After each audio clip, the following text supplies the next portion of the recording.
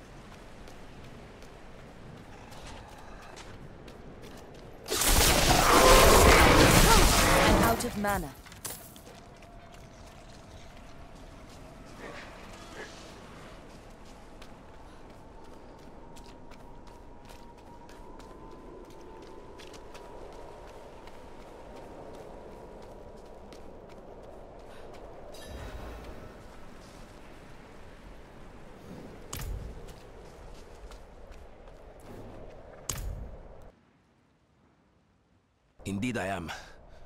My guard turned on me, tried to choke the life out of me. All I could do before I lost consciousness was I need to go return over to. Kyovashad and request a night escort. Please, take the tithing demands to the merchant lord Talgun in Menestad.